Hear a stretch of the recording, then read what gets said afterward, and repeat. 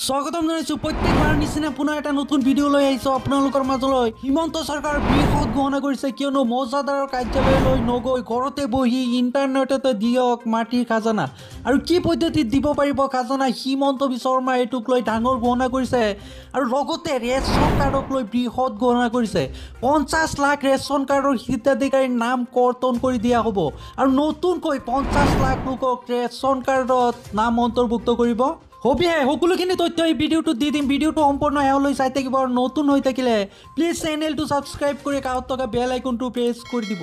Ration card হিতাধিকাৰীলৈ বৃহৎ গহনা মুখ্যমন্ত্ৰী হিমন্ত বিশ্ব শৰ্মাৰ। ৰেচন কাৰ্ডৰ সৈতে আধাৰ কাৰ্ড সংযোগ নকৰিলে লাভ নকৰিব ৰেচনৰ সামগ্ৰী। আৰু আধাৰ সংযোগ নকৰা পঞ্চাছ লাখ হিতাধিকাৰীৰ নাম কৰ্তন কৰি দিব চৰকাৰে। নাম কৰ্তন কৰি নতুনকৈ পঞ্চাছ লাখ হিতাধিকাৰীক দিয়া হ'ব ৰেচনৰ সুবিধা। আপোনালোকক নেক্সট ভিডিঅ'ত দেখাই দিম কেনেকৈ আপোনালোকে ৰেচন কাৰ্ডৰ কাৰণে অনলাইনত এপ্লাই কৰিব আৰু লগতে যদি আপোনাৰ ৰেচন কাৰ্ড আছে আপোনাৰ ঘৰৰ কোনোবা এজন ব্যক্তিক নামটো আপোনাৰ ৰেচন কাৰ্ডৰ সৈতে সংযোগ কৰিব বিচাৰে এইটো মই আপোনালোকক নেক্সট ভিডিঅ'ত দেখাই দিম। আৰু কেবিনেটত বৃহৎ গণনা কৰিছে মুখ্যমন্ত্ৰী হিমন্ত বিশ্ব শৰ্মা। পঞ্চাছ লাখ ব্যক্তিয়ে সংযোগ কৰা নাই ৰেচন কাৰ্ডৰ সৈতে আধাৰ কাৰ্ড।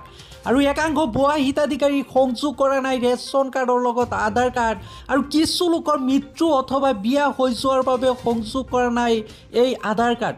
আৰু পঞ্চাছ লাখ হিতাধিকাৰীয়ে নেশ্যনেল ফুড ছিকিউৰিটিৰ অধীনত লাভ কৰিব ৰেচন কাৰ্ডৰ সুবিধা। আৰু ৰেচন কাৰ্ড হিতাধিকাৰীসকলৰ বাবে বৃহৎ গণনা মুখ্যমন্ত্ৰী হিমন্ত বিশ্ব শৰ্মাই ৰেচন কাৰ্ডৰ সৈতে আধাৰ কাৰ্ড সংযোগ নকৰাসকলে লাভ নকৰিব ৰেচন কাৰ্ডৰ সামগ্ৰী। আধাৰ কাৰ্ডৰ সংযোগ নকৰা পঞ্চাছ লাখ হিতাধিকাৰীৰ নাম কৰ্তন কৰি দিব চৰকাৰে আৰু নাম কৰ্তন কৰি নতুনকৈ পঞ্চাছ লাখ হিতাধিকাৰীক দিব ৰেচন কাৰ্ডৰ সুবিধা। বৃহৎ গণনা কৰিছে কেবিনেটত। এই বৃহৎ গণনা মুখ্যমন্ত্ৰী হিমন্ত বিশ্ব শৰ্মাৰ।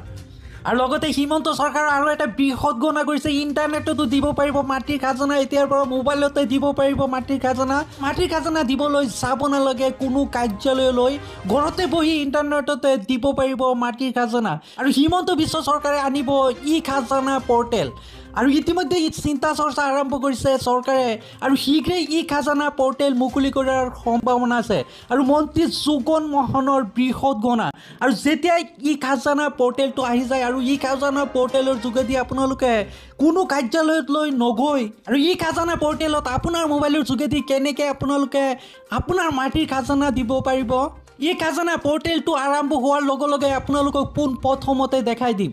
হিমন্ত বিশ্ব শৰ্মাই দুটাকৈ বৃহৎ গহনা কৰিছে। আপোনালোকে ঘৰত বহিয়ে ইণ্টাৰনেটৰ যোগেদি আপোনাৰ মাটিৰ খাজানাটো দিব পাৰিব আৰু লগতে আৰু ৰেচন কাৰ্ডৰ সৈতে আধাৰ কাৰ্ড সংযোগ নকৰা পঞ্চাছ লাখ হিতাধিকাৰীৰ নাম কৰ্তন কৰি দিব। আৰু পঞ্চাছ লাখ নতুনকৈ ৰেচন কাৰ্ডত নাম অন্তৰ্ভুক্ত কৰিব। আৰু কেবিনেটত বৃহৎ গহনা মন্ত্ৰী হিমন্ত বিশ্ব শৰ্মাৰ।